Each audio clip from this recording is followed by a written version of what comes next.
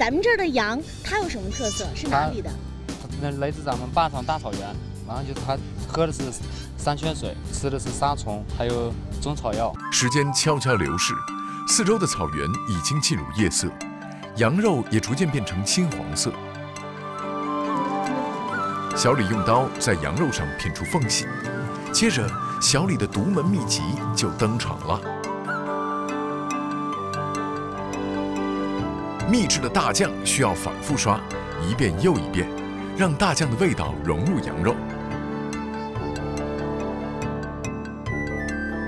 最终，一只烤全羊需要刷酱三斤才算大功告成。